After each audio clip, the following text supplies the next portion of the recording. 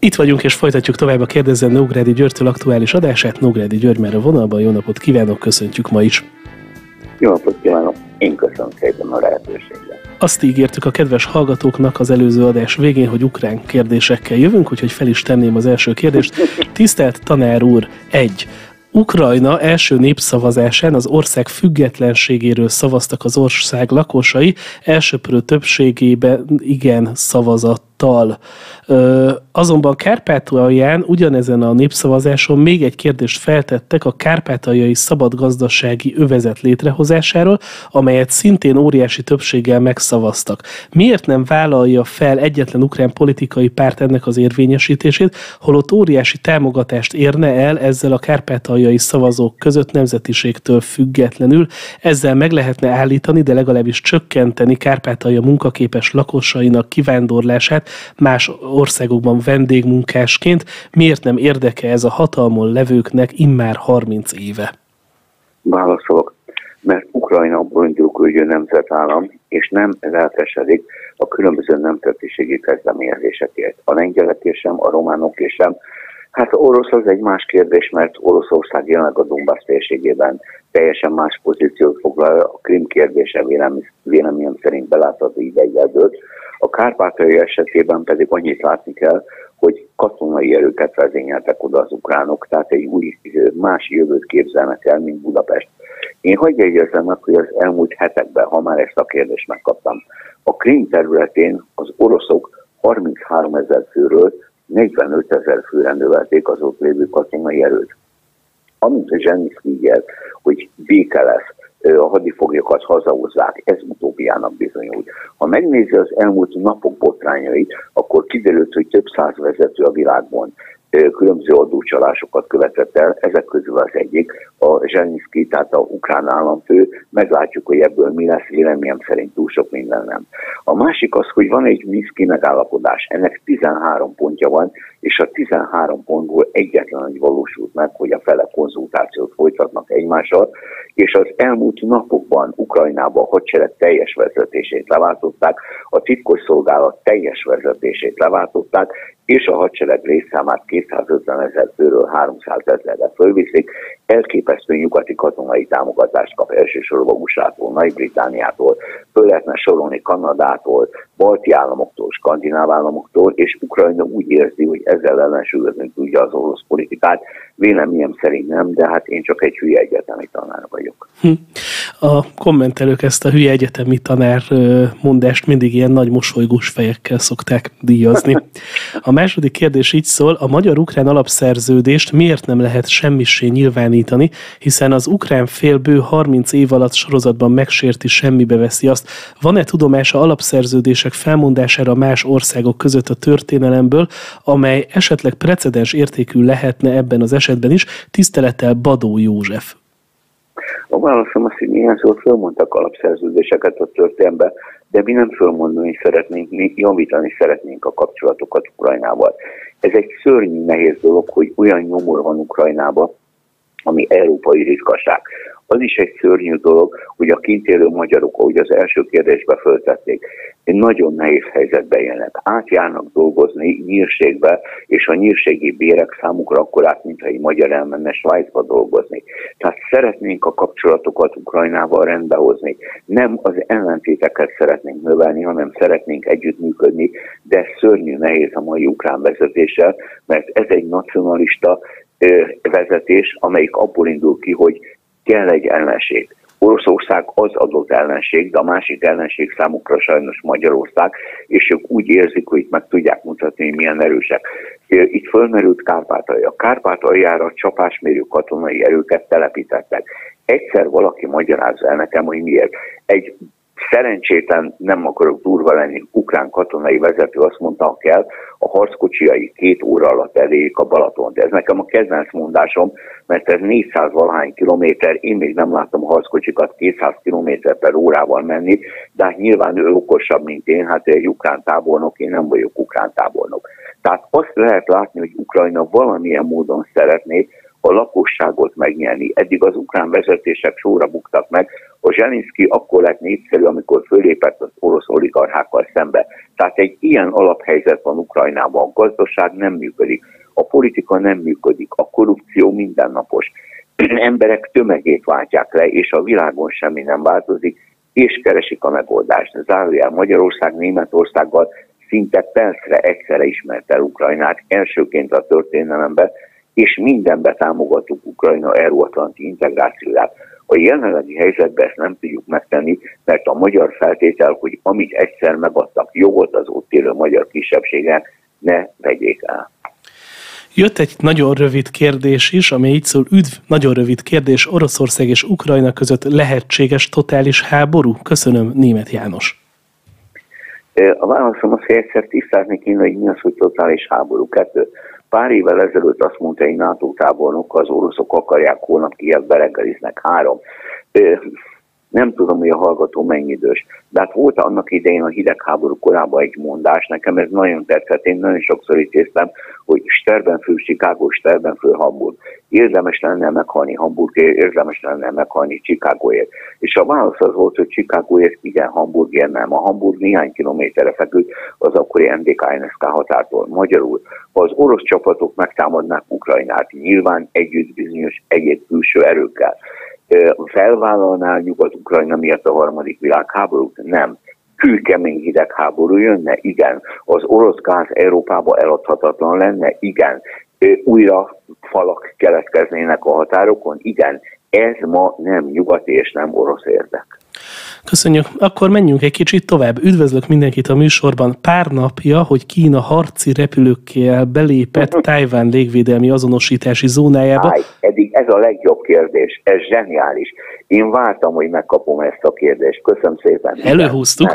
A kérdésem az volna, hogy az elkövetkező pár hónapban milyen mértékben fokozódhat a két ország között a feszültség.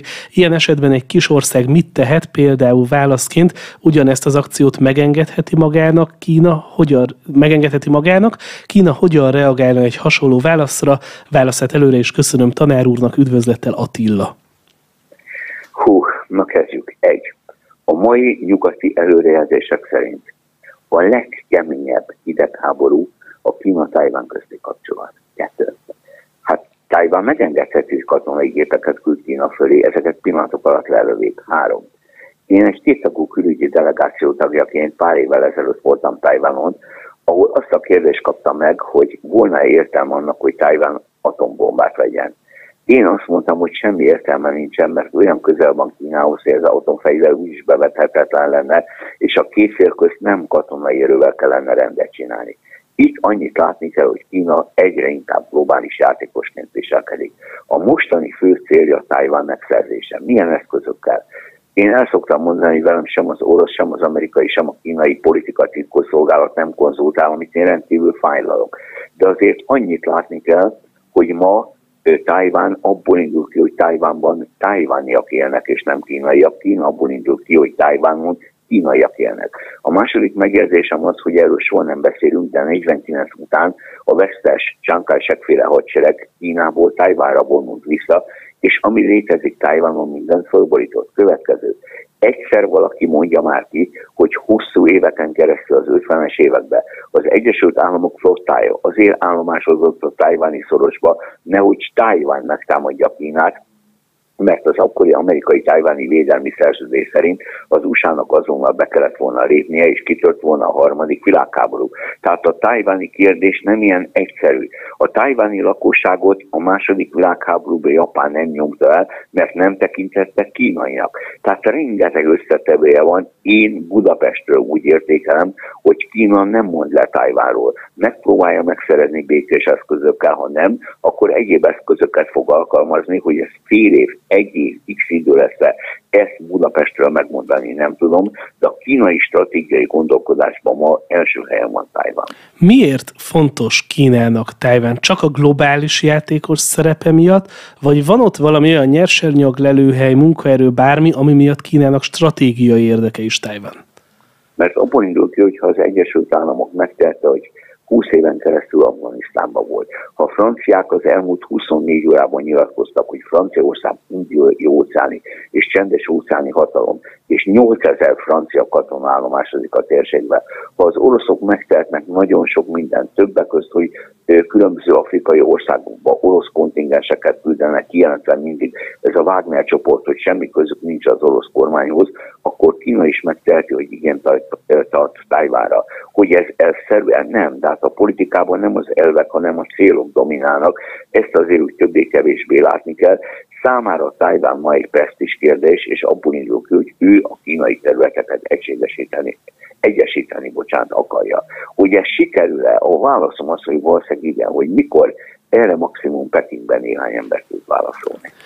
A következő kérdés így szól, szeretném megkérdezni, hogy mi az oka annak, hogy Tájván még mindig független a pekingi vezetéstől, ha állítások szerint bármikor maguk alá kényszeríthetik az úgynevezett renitens provinciát, másik, hogy valóban a közeljövőben várható egy katonai hadművelet Kína részéről? A válasz az, hogy Kína ha bármit csinál, konzultálni fog Washingtonnal. Washington bármit csinál Koreába, konzultál Pekinggel. Tehát azért a két fél közt rengeteg olyan pont van, ahol konzultálnak egymással, mert senki nem akarja a harmadik világháborút. Most el lehetne mondani az Egyesült Államoknak hányszor több atomtöltete van, mint Kínának. Igen, de a kínai pár száz atomtöltet is elegendő ahhoz, hogy a világ jelentős részét megsemmisítsük. Tehát itt ma teljesen más minden. Egyszer azt mondta Willy Brandt, nekem rendkívül tetszett, hogy aki elsőnek lő, az másodiknak hal meg. Ez ebben a relációban is igaz, és el lehet mondani, hogy Biden idős, szenilis, rengeteg rosszat, de a mögött álló apparátusok, a Pentagon, a külügy, a CIA, ezek fantasztikusan jó képzettek. Az végzetes lenne, ha Kína az amerikaiak engedélye vagy tudta nélkül nyomulna be Tájvánra? Nincs értelme, miért nyomuljon be? Hát ő előre konzultál napi szinten az Egyesült Államokkal. Miért csinálja meg? Miért állítsa magát egy olyan készhelyzet elé, ahol az USA szabadon léphet? Értelmetlen. Nem fogják megcsinálni. Jött egy ilyen kérdés is, hogy mit lehet tudni Vietnám nemzetközi politikai helyzetéről. Arra gondolok, hogy mennyire függ Kínától, vagy ők is lassan hasonló gazdasági stratégiai modellel próbálnak a nagy testvér árnyékából kilépni, holott kevés olyan befektetésről hallok, ami vietnámi tőkéről, tőkéből valósult meg. A vietnámiak rengeteget szenvedtek a vietnámi háború alatt. Az egyesülés után elképesztő gyorsasággal fejlődő Vietnám, Érdekes módon azonnal az amerikaiak segítségét és barátságát keresték. Vietnám nem bocsátja meg, hogy Kína megtámadta őket katonailag. Érdekes módon ez a világ sajtóban alig jött le, és Vietnám három lépést szeretne tartani Kínától, de semmiképpen nem tekint Kínára úgy, mint szövetségesre. Jött egy ilyen kérdés is, hogy Biden elnök úr elmozdítása lehetséges-e abban az esetben, ha egészségügyi állapota rohamos leépülése veszi kezdetét, ugye itt a legutóbbi nem létező Tájvan egyezményre való hivatkozásra gondolok, hogyan zajlik ez, Kamala Harris mennyire lenne elfogadott pótelnök? A mai felmérések szerint az amerikai lakosság Kamala Harris nem fogadja.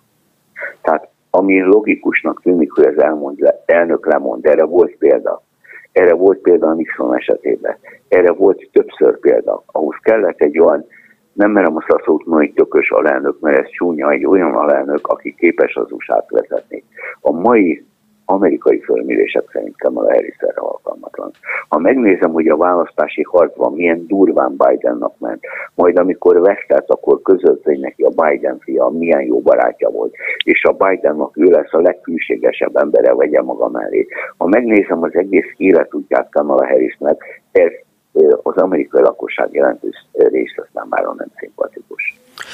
A következő kérdés így szól, tisztelt tanár úr, mostanában naponta jönnek arról hírek, hogy energiaválság, élelmiszerhiány, áruhiány van a világon, gondolok itt fahiányra, cementhiányra, vagy éppen a legutóbbi ukrán helyzetre. Mit gondol, mennyire fognak ezek az események elhúzódni, lehet-e ebből komolyabb probléma? Köszönettel László, egy budapesti tisztelője. A válaszom az, hogy kérdést, persze, hogy ebből lehet probléma, csak én megint rengeteg dolgot kell látni. Egy, van fizetőképes kereslet? Igen, akkor mindig lesz áru. Kettő, a világ jelentős részén nincs fizetőképes kereslet. Én most egy hülye példát mondok. A Covid járványt várjuk novemberre Európára.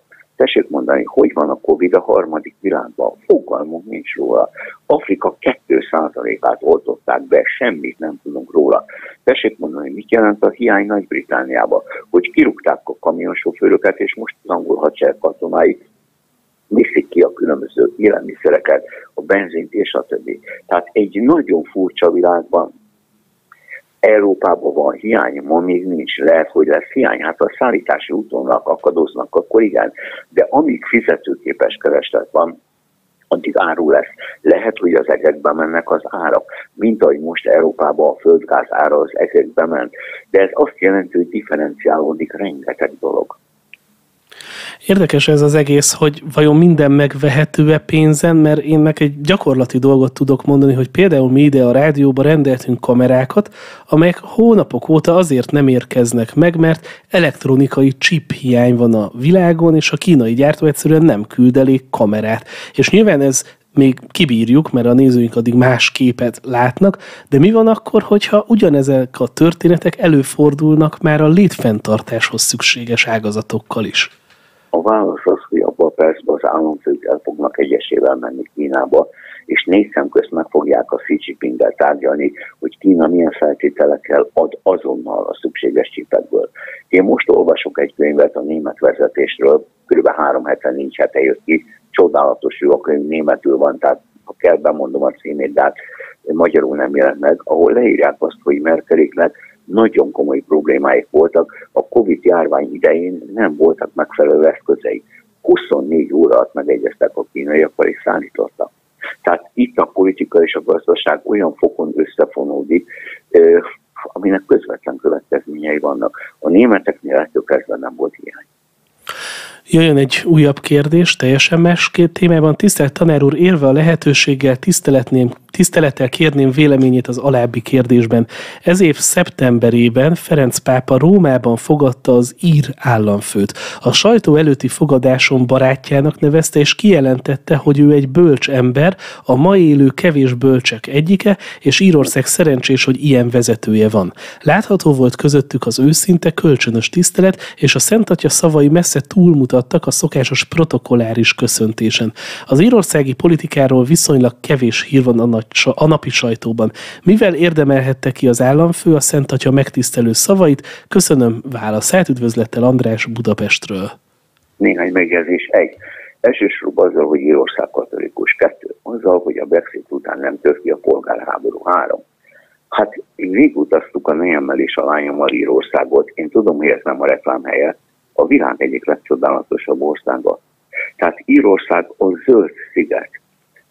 Hihetetlen szép, csodálatos a tengerpartja, a városai fantasztikusan szépek, az ország egy paradicsom, és meleg van, és a golfáramlat miatt teljesen más a hőmérséklet, mint hogy a földrajzi helyzete miatt elvárnák. A Brexit után volt olyan bölcs az írvezetés, hogy Észak-Írországgal föntartották a korábbi állapotokat, holott Észak-Írország ma már nincs benne az Európai Unióban zárójel, a Boris Johnsonnak a pozíciói folyamatosan romlanak, erről sem ír a sajtó. Az egyik, hogy nincs megállapodás a halászati kérdésekben, kettő, nincs megállapodás általában az EU-ból való kilépésről, három, nincs megállapodás, hogy mi lesz az ír akir határon. Ha ezt a határt lezárják, és itt el kell mondani ezt, hogy Írország kivívta a függetlenségét, a fejbe jól számolok 105-106 évvel ezelőtt. Észak-Írország, ahol protestáns többség van, egy polgárháborús helyzet volt a protestánsok és katolikusok közt. Ez a mai írvezetés volt olyan bölcs, hogy nem a feszültséget növelte, hanem az együttműködést és a békét, és a pápa ezért fogalmazott így, és teljesen igaza volt. Köszönjük szépen. Egy következő kérdés. Tisztelt Nógrádi György, az utóbbi időben, mintha újra elmérgesedne a helyzet a két Korea között, sőt hallani, hogy ismét rakéta kísérleteket hajt végre Észak-Korea. Tavasszal már hallottuk, hogy a gazdasága nullával egyenlő a kommunista államban, és több százezren éheznek. Ön szerint mi várható most a térségben? Milyen válaszlépéseket hozhatnak a szomszédos országok, mint például Japán vagy Dél-Korea? Ez egy nagyon összetett kérdés, kezdjük az elején. Az elmúlt napokban javult a két Korea közti viszony, fölvették egymással újra kapcsolatot. Kettő. A koreai kérdés elég összetett, én próbálok gyorsan válaszolni. 50-53 a koreai háború, Észak kezdi el. Kettő. Az atomprogramot Dél-Korea kezdi el. Három. Kim Il-sung Észak-Korea első kommunista vezetője alatt az ipar sokkal gyorsabban fejlődik északon, mint délen. Ha megnézem leegyszerűsítve 70 év koreai történelmét, akkor azt látom, hogy Észak-Koreában tombol a személykultusz, Dél-Koreában tombol a korrupció. Hihetetlen érdekes ez a két Korea, csúnya szót mondok, hogyan szivatja egymást. Hat ország tárgyal erről a helyzetről. Észak-Korea. Észak-Korea abból indul ki, hogy neki atomfegyvere kell, hogy legyen, mert akinek atomfegyvere van, azt nem lehet megtámadni. Lásd ellenpéldaként Japán 1945, Saddam Hussein, Kadhafi és a többi. Dél-Korea abból indul ki, hogy számára a béke részkérdés. Hajlandó ingyen támogatást adni, csak fogja vissza a katonai programját Észak-Korea. Kína abból indul ki, hogy lezárja a határt, mert nem kell neki észak-koreai menekült, akiknek fogalmuk nincs a világról. Kína abból indul ki, hogy nélkül a koreai kérdés nem lehet megoldani. Kína abból indul ki, a nagy baj van. Bemegy Észak-Koreába, a rakétaközpontok és atomtöltetek a kínai határ mellett vannak, ezeket elfoglalja Kína. Abból indul ki, hogy jöjjön létre az egységes Korea, de ne USA vezetéssel, ne a Pentagon, a CIA és a dollár diplomácia alapján, máshogy pedig nem tud. Kína. A valóságban senki nem akar egy egységes Koreát, mert az veszélyeztetni a kínai, orosz, japán és amerikai érdekeket. USA 42 ezer főt állomásoztató Dél-Koreába, ezt a számot levitte most 28 ezer főre. Ez egy örök feszültség Észak-Korea, valamint Dél-Korea és az Egyesült Államok között. Japán. Japán azt mondta, ha bebizonyosodik, hogy Észak-Koreának atomfegyvere van, másnap neki is lesz. Bebizonyosodott, papíron Japánnak nincs Oroszország. Az oroszoknak egy rendkívül rövid, kb. 20 kilométeres határuk van Észak-Koreával, de az orosz politika is érdekelt, hát ez a távol-kelet egyik meghatározó része. Én el szeretném mondani, a német egység olyan gyorsan jött létre, hogy hihetetlen. A vietnámi egység olyan gyorsan jött létre, hogy hihetetlen. Koreában létre fog jönni az egység, de ember nem tudja megmondani mikor. És akkor jött egy könnyedebb kérdés is. Mesélte, hogy annó Trabanttal járta az országot. Most milyen autója van és elégedett vele? Köszönettel egy nagy csodálója Szentestől. Most megyek Békés Csabára eladást tartani, jövő héten jöjjön el az eladásom, mert nincsen messze Szentestől. Egy. Én 1974-ben megvettem életem első Trabantját, hihetetlen boldog voltam, 25 éves voltam, egymás után 8 Trabanton volt. Én nagyon szerettem, tudom, hogy ilyet nem illik mondani, én nagyon jól éreztem magam a Trabanttal. Én elmentem Trabanttal a Jugoszláv tengerpartra, elég furcsán néztek rám, de simán ment minden. Utána elkezdtem Németországba járni, és kellett egy jobb kocsi. Nagyon sokat gondolkodtam, végül vettem egy Volkswagen Golfot. Hát a Golf nekem a csoda kategóriája volt a Trabant után, volt olyan hív, hogy kiszálltam, hogy golfal elférek-e. Hát a golf egy sokkal szélesebb kocsi volt, mint a Trabant, persze, hogy elfértem, de hát, hihetetlen nehezen ment az első hetekben, hónapokban parkolás. Volt nyolc Volkswagenem. Az utolsó Volkswagenem egy barom jó CC kocsi volt, állandóan fáztam. Mindenki mondta, hogy hülye vagyok, de kiderült, hogy az én oldalamon lévő ajtónál a szőnyeg leszakadt. Egy vadonatúj kocsinál áramlott be a hideg. Elmentem Audit venni, ahol azt mondták, hogy 8-10 hónap. Elmentem Mercedes venni, ahol azt mondták, hogy jövő héten jön be kettő választatok, és vettem egy C-s Mercedes. Ekkor jelentem rólam az akkori Magyar Nemzetben egy cikk, hogy Nógrádinak könnyű, mert annyi pénzt keresett a rádió TV interjúival a Fidesz alatt, hogy megvette első Mercedes-ét. Egy. Ez a cél az egyik legkisebb Merci. Én visszaírtam, hogy 74 óta szerepelek a rádió televízióba, és 40 év alatt kettőször kaptam pénzt, pont. Erre azt írták, hogy akkor balesetmentes közlekedést kívánnak. Na most elmentem, hogy a Mercedes után veszek egy új Volkswagen. Két hónapig nem kaptam árat, elmentem, megvettem egy második Mercedes, másnap kaptam árat a Volkswagen-től, de akkor már gyakorlatilag eldőlt a kérdés, én nem vagyok hasra esve, de én nem értek hozzá. Soha egyetlen kocsimról nem tudtam, hogy hány köpcent is, hány lóerős. Ez engem életemben nem érdekelt. Az érdekelt, hogy dízel vagy benzin, és azt töltöttem bele. Nem foglalkoztam a műszaki adatokkal. Engem az érdekelt, hogy biztonságosan elvigyen az előadásaimnak. Hát reméljük, hogy ez a jövőben is így lesz, és nagyon szépen köszönjük, hogy ilyen részletességgel beszélt nekünk a külpolitikai helyzetről, illetve a gépjármű kérdésekről is. Nográdi György, minden jót kívánunk! Köszönöm szépen, viszontlátásra! És a kedves hallgatóinknak is nagyon szépen köszönjük a figyelmet, továbbra is várjuk a kérdéseket, és továbbra is bátorítunk mindenkit, hogy iratkozzanak fel a csatornánkra, hiszen akkor is értesítéseket kapnak a legfrissebb adásainkról. Köszönjük a figyelmet!